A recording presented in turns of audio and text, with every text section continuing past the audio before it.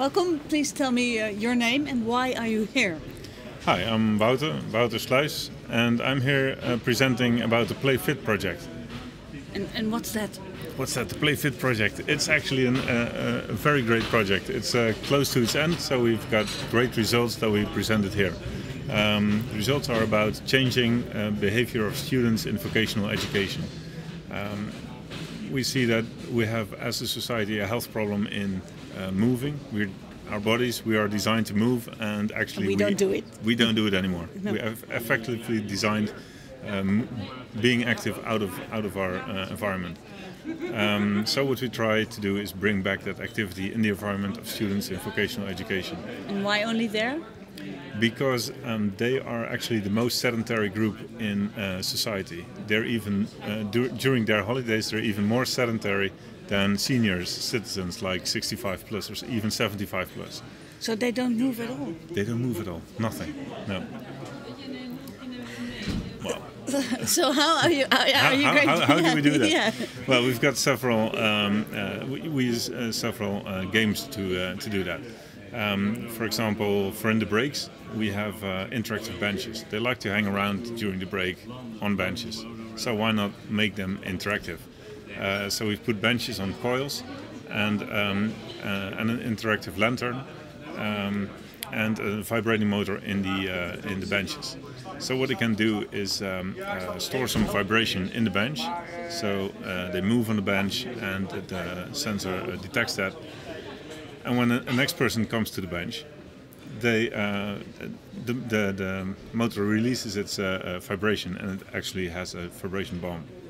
That, that that's one of the things. The so what happens then? What, so, what so happens you jump up and exactly. they, they, jump up and, and, and they start explore uh, the bench. and uh, curiosity is a very good trigger to uh, to get people engaged in in such kind of activity. So um, um, yeah that's the mechanism that we use to uh, to get them engaged in an active uh, game. Yeah, but but doesn't it work only once? Because once you you've discovered what happens, you think, well. Is that all? Is, is that, that all? I'm exactly. Sit down. Well, that's indeed one of the challenges that we have to overcome. Uh, it's, it's, not just uh, uh it doesn't work only once. Um, we've uh, done some pilot studies, and um, there we hardly found a decline of use but after uh, um, uh, recently we've done a, um, a, longer study, and we found that after about three weeks, you find a gradual decline uh, of, of, usage, and you find also a specific uh, group of users that remain using it because they become a fan of the of the game. Um, so yeah, that puts the question. Uh, but on the other hand, um, what it proves to us is that we find um, we have a successful platform in which we can uh, activate and engage them.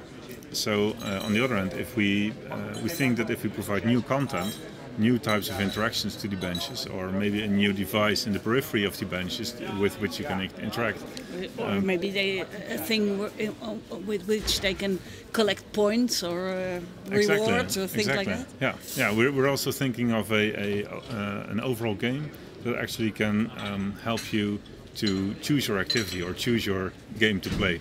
So, um, uh, because we have the interactive uh, benches, but we also have a mobile math lesson, for example, um, it works this way. Um, you have a, a, a, small avatar on your mobile phone uh, with which you have to collect uh, numbers in the right order to um, make a, an equation uh, right. Mm-hmm.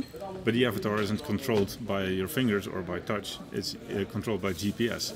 So actually, you have to play it in the schoolyard or on, uh, um, on a parking lot or wherever. Uh-huh. Um, it so sounds like fun, but does the, does the math teacher approve of it? Or math teachers are very enthusiastic. Yeah, really? Yeah, yeah really, really. They are. Uh, um, they, they actually can't wait because it's something innovative and it's something uh, uh, that the children can play independent. So the, the uh, children that need extra training or the children that are uh, more advanced, they can serve them with uh, individual uh, math exercises. Mm -hmm. But we're also thinking of making it a multiplayer game. So you can actually uh, have a, a multiplayer interaction, social interaction, and negotiations about how to solve the math puzzle, which adds something to the educational experience as well. Yeah. So there are lots of ideas, and you, in your you're working and building these things. Yeah. Who pays for this? Um, that's uh, a foundation, the Innovation Alliance in the Netherlands, and they um, they've uh, made it a four-year project. And as uh, we're we're near the end of the project, so we're currently uh, um, uh, well finishing the deliverables, wrapping up the concepts, thinking also about business models, but also thinking of what should we do or what can we do with these uh, uh, uh, concepts. So um, yeah, we're on the lookout for uh, for partners that actually want to pursue maybe one of these these projects with us and uh, um, yeah, actually make it uh, happen in in schools. Yeah. So exciting times. You've been quite safe for the past uh, four years, and Yep, now yeah. now you have to go out in the real wor- world again. Yeah. Has has the world changed since you started with this? Um, in a sense, yeah, um, because four years ago, uh, inactivity and obesity, for example, was quite a hot topic, and um, the novelty of the topic has worn off a little. Um, so it's yeah, yeah, we know the problems with being inactive and, and stuff like that. So what what are structural solutions uh, that actually work? So we know, and, and um, in that sense, it's become harder uh, for us to become uh, to be uh, uh, distinguished uh, from other because there's so many projects uh, now, and uh, so yeah, that's that's one of the obstacles I think we have to overcome to remain to keep our um, Advantage. advantage. Yeah. Yeah, yeah. Does it? Um, is it is it is it only become harder, or are there things that have become easier in the past few, few years?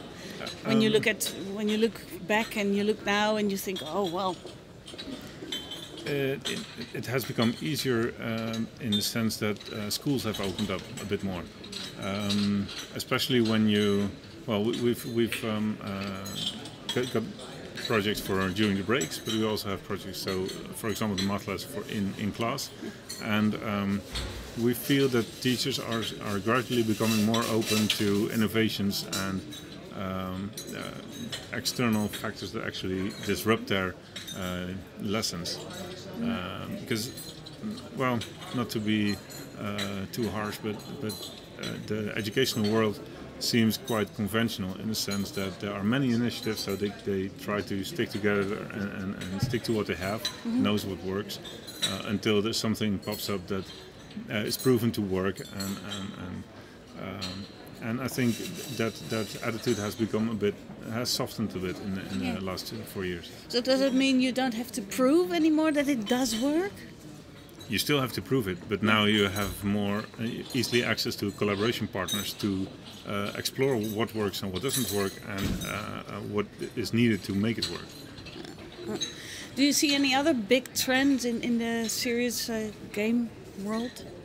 Um, yeah, um, especially now, I mean, the Games for Health conference is one, is one of the uh, uh, one of those initiatives that that is uh, um, um, significant for a new trend is that the medical world is opening up, um, and and one of the next things we're going to do at Fontys is a project with the. Um, uh, let me see the the mental health care.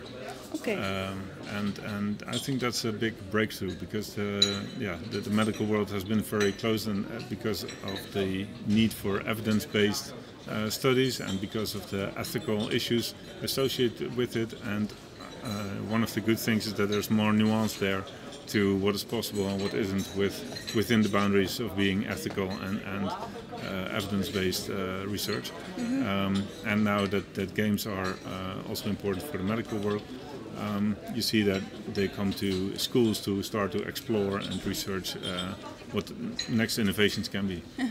yeah. So, so it's quite exciting times.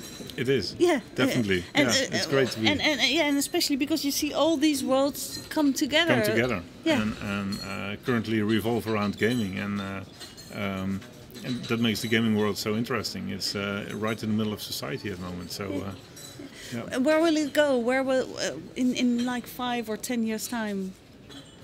where will what go the, well, the, the, medical world or the yeah, gaming world? The, or? well, the gaming world, especially, and, and, and, and how it's how it's how it's used. and how it's used. Yeah.